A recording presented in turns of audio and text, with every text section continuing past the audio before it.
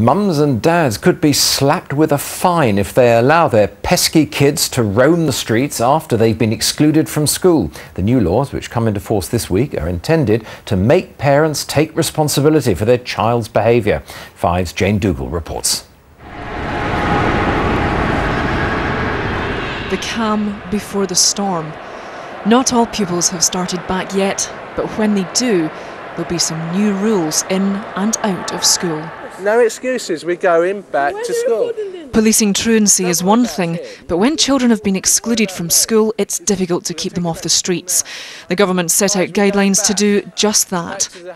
Now, parents of badly behaved children have to sign a contract with the school. If it's broken, the child's excluded. They also have to supervise children during that exclusion. If they don't, parents get a £50 fine, which could rise to £1,000 if it's not paid. We tried hard. Seven year old Tade's been excluded several times. His mum has to work and says supervision isn't feasible. I could not just, you know, not turn up to work.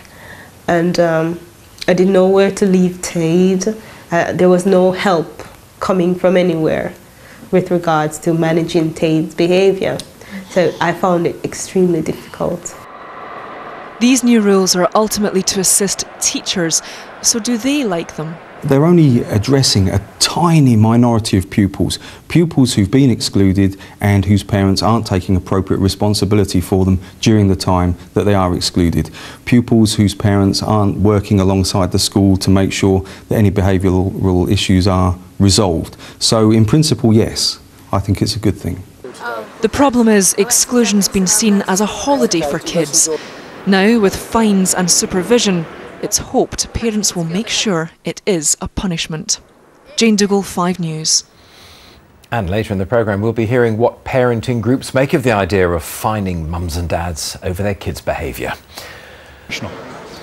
It's quarter past seven. Stay with us. There's a lot more to come. We're going to be live on the red carpet at the London premiere of Atonement, starring Keira Knightley, and Life in the Fast Lane Why Rock Stars Are More Likely to Suffer a Premature Death. Now, what do you make of the idea of punishing parents who let their kids run riot after they've been excluded from school? As we were hearing earlier, the laws which come into force this week could see mums and dads being fined up to a thousand pounds. Well, Kathy Evans is a mum who works at the Children's Society. She's with me here. Steve Masters is from the parenting website UK Parents Lounge. Kathy, to you first. I understand you don't think it's such a good idea. Well, I think uh, in some senses it's taking a sledgehammer to crack a nut. And, and the key issue with truancy and, and problems at school is that what we want for all children is to be having the positive experience, the learning experience that will set them up for life. If that's going wrong, then the critical question really is to say how do we re-engage that young person yeah. with school, with learning. And you would say not by attacking the parents, presumably? Uh, uh I think when we try to ask those questions, sometimes we do find there are problems at home and that the parents aren't really supporting and adequately uh, okay. uh, their, their, family. There are ways of responding to that, but I think uh, heavy fines may may cripple a family without tackling the problem. Fair point, Steve, or not? Uh, yeah, I, I, agree generally. I think that uh, you have to tackle the underlying problems of, of, the social difficulties that cause these kids to leave school, and, and we all know about the educational uh, problems that we're having with the statistics in this country, but you have to have punitive measures. I don't agree with a one-size-fits-all punitive approach, but you have to have a line at which you draw uh, a level. And, and, the discussion about what's been uh, what's been enforced today is punishment for parents who disregard um, a, a, certain level of procedures after they've had plenty of opportunity to actually abide by various social rules. Yeah, that's the point, isn't it? I mean, if the parents don't get it right, how can the kids?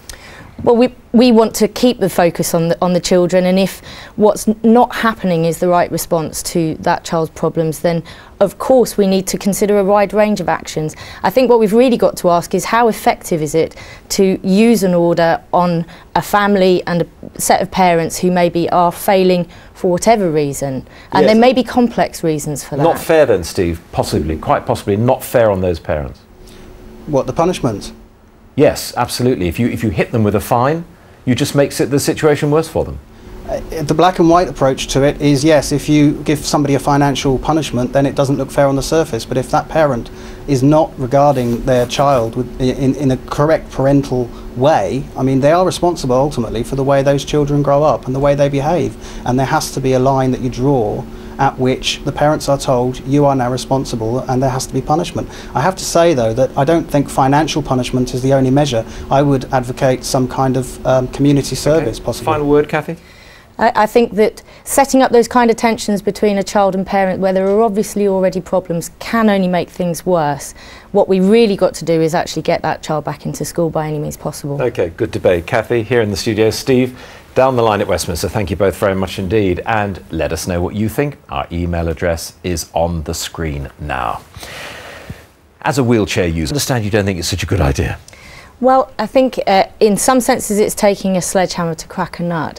And, and the key issue with truancy and, and problems at school is that what we want for all children is to be having the positive experience, the learning experience that will set them up for life. If that's going wrong, then the critical question really is to say how do we re-engage that young person Yeah. with school, with learning. And you would say not by attacking the parents, presumably. Uh, I think when we try to ask those questions, sometimes we do find there are problems at home and that the parents aren't really supporting and adequately uh, Okay. uh, their, their family. There are ways of responding to